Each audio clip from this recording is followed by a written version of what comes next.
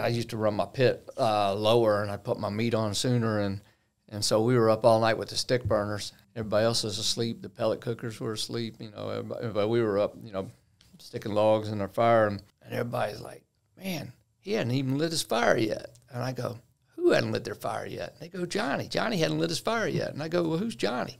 They go, "Johnny Trigg." I go, "Who's Johnny Trigg?" And so they told me who Johnny Trigg was, and uh, anyways, about four thirty in the morning, Johnny light to his RV came on, and he came out, and I've always been the person to ask way too many questions, and I just walked over and introduced myself to him, and he was a little cranky, but uh, Johnny Trigg? No. No. we ended up uh, we cooked that day, and we got I think uh, a good call in pork and a good call in brisket, and Johnny took all the Virginia money home back to Texas. Our first one was September 2004.